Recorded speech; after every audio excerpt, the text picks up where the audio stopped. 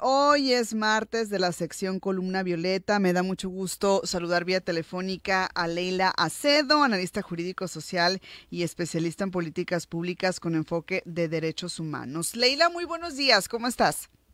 Hola, ¿qué tal? Muy buenos días, Miri, a ti y a tu auditorio. Un gusto, un gusto saludarte, Leila, como, como siempre en este espacio, y hablar de las infancias en contextos de desaparición de personas. Y muy interesante porque hace algunos días este, hubo justamente manifestaciones en torno a la conmemoración o a la visibilización de lo importante que es este, combatir este fenómeno, esto que se está dando en el mundo. Sí, eh, eh, fue el Día de, Internacional de las Víctimas de Desaparición eh, Forzada, que apenas en México pues, tenemos un par de años no conmemorando esta fecha, a pesar de que el, fenómeno de la desaparición ha estado presente desde hace más de 50, 60 años en, en, México, ¿no? que tuvo como su punto más álgido en la Guerra Sucia, ¿no? Pero el día de hoy, eh, fíjate, me gustaría centrarlo en una arista de una de las problemáticas que se genera precisamente en torno a la desaparición de un familiar y particularmente eh, me gustaría hablar sobre eh, las niñas, los niños y adolescentes cercanos a estos a estos entornos, ¿no?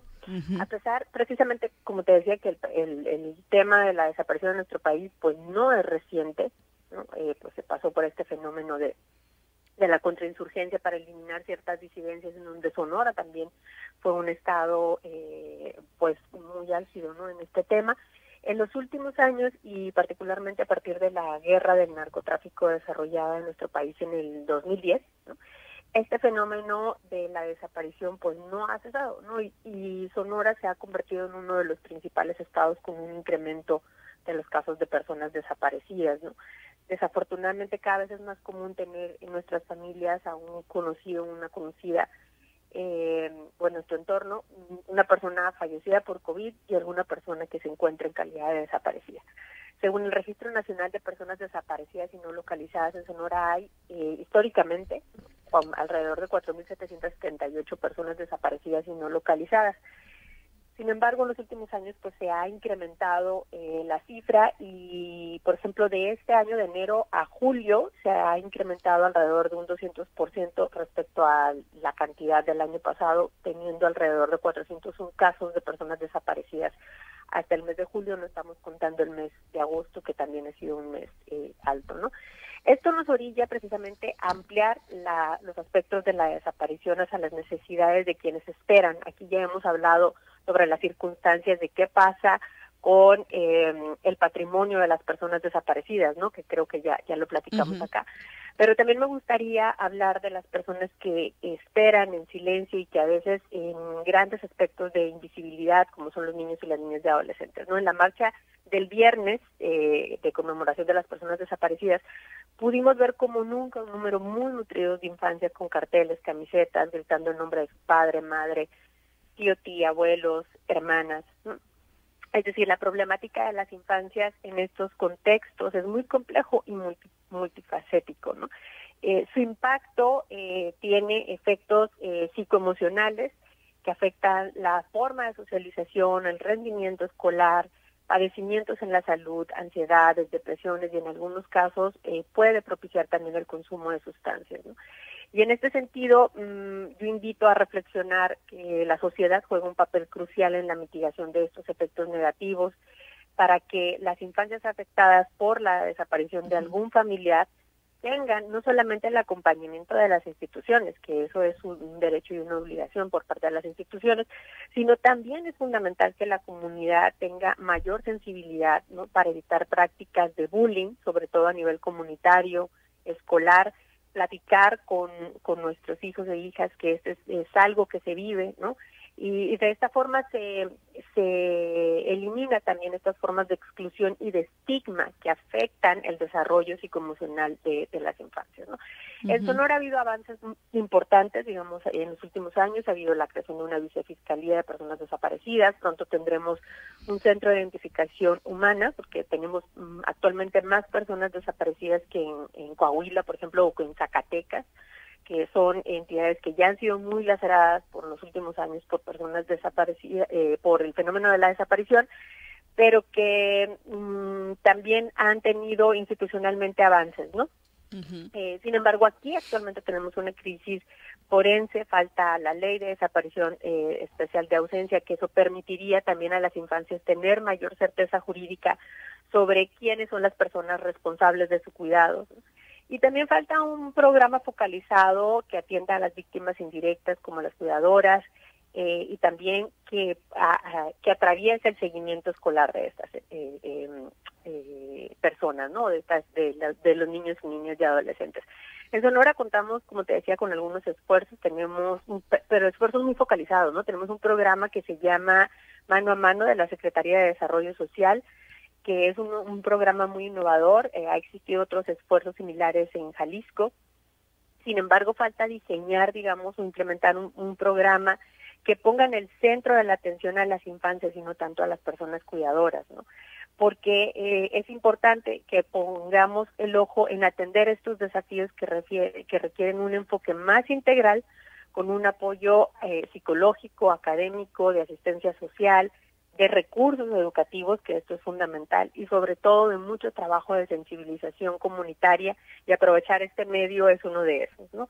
Es fundamental para que las infancias en estos contextos eh, tengan un mejor bienestar, que las políticas y los programas que se destinan a, pues a estas familias y a estas comunidades, porque hay que decirlo, ya es un fenómeno que, que impacta comunidades enteras, reconozcan y aborden las necesidades específicas de, eh, de las infancias como tal, ¿no? Para mitigar un impacto negativo en, en sus vidas.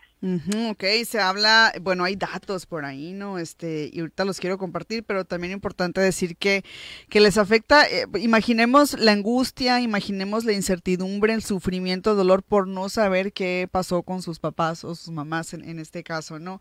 Y, sí me parece interesante poner sobre la mesa este tema porque como decías, Leila, pues es una problemática que ha sido muy poco visibilizada. Hay datos que yo no, que yo te quiero compartir, no sé si tú los, si tengas los mismos, se habla de que 150 mil niños y niñas en México son afectadas por este tema de la desaparición, viven de cierta manera en, orfandad, por así decirlo. Este, pero bueno, eh, creo yo que, que, las cifras a lo mejor pueden oscilar porque probablemente no tengamos datos muy certeros o, o específicos, ¿no? Sí, de hecho, por eso no lo quise manejar porque es, es, es una cosa que todavía no está, digamos, eh, precisamente como no hay una visibilización de esta necesidad, ¿no? Eh, la construcción de datos ha sido también un, un reto, ¿no? Eh, y, y también hay que decirlo, hay muchas familias que, eh, que no denuncian, ¿no? Por temor, por miedo, eh, y que y que no no por eso dejan de estar buscando no o sea las formas de búsqueda son diferentes digamos no por medio de una ficha de un colectivo pero no necesariamente a través de una autoridad específica no entonces eso también eh, digamos dificulta el hecho de que se pueda tener con certeza un número en específico. Eh, sin embargo eh, la problemática ahí está no está latente.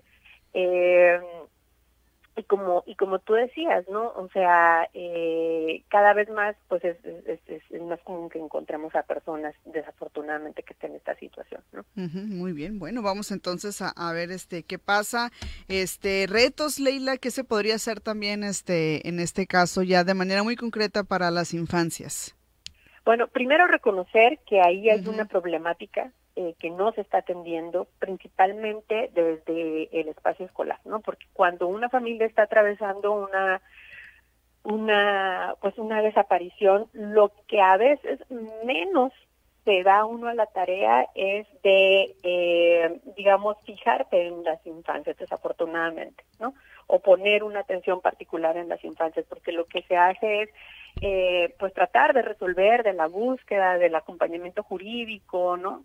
Eh, de seguimiento jurídico de, para la persona desaparecida, tratar de resolver la vida ante la ausencia de esa persona, ¿no? Entonces, por lo tanto, yo considero que es fundamental ¿no? que eh, desde el espacio eh, educativo, que es el digamos, el segundo eje rector de, la vida de las infancias, se promuevan otro tipo de acompañamientos. Y también eh, sensibilizar muchísimo a la sociedad, ¿no? Porque gran parte de, del problema que sufren las infancias es, aparte del silencio, de no entender mm, qué es lo que está pasando con la persona que ya no está, o sea, vive en la ausencia a veces sin entender que realmente su padre está o su madre está desaparecida. Muchas veces es algo que no se habla en casa, ¿no? Y que se cree o que se dice que la persona está eh, trabajando en otro lugar, ¿no? O que falleció de alguna cosa. otra cosa que te quería comentar es que estas, estas, eh, las infancias no están en un espacio de orfandad, porque no se habla mm. precisamente de que la persona esté eh, no que, que, haya terminado su vida, sino al, contrario, o sea, es, tan complejo esto que ni siquiera existe una palabra para definir. O un término, uy, qué interesante está esto, ¿eh? eh, eh en qué estado se encuentra? ¿no? Porque no no es un estado de orfandad. Como si estuviera suspendido, ¿no, Leila? Exactamente, y entonces eso es lo que lo vuelve tan tan eh, tan cruel, digamos, y en, en, en, un, en un estado eh, tan complejo, no solamente para las personas, sino también, imagínate, para las infancias, ¿no? Entonces, eso, eso hay que transmitirse, ¿no? A la sociedad y también a las personas que los acompañan. Muchas veces el profesorado o la gente que trabaja en el, en el espacio escolar no sabemos cómo tratar este tema, ¿no?